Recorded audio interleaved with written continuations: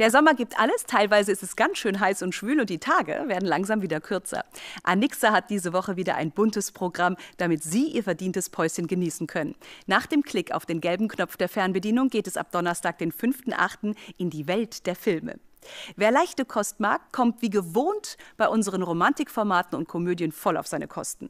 Bei dem Thriller Der Mandant werden die Nerven ganz schön strapaziert und bei dem Actionfilm Taken 3 kommt man ganz schön ins Schwitzen.